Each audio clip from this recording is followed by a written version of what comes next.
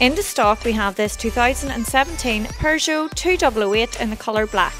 This is a 1.6 diesel manual with just over 31,700 miles on the clock and it comes with a range of features including Apple CarPlay and Android Auto, Bluetooth system, cruise control with speed limiter, rear parking aid, touchscreen display, 17 inch alloy wheels, DAB digital radio, Isofix on outer rear seats and so much more.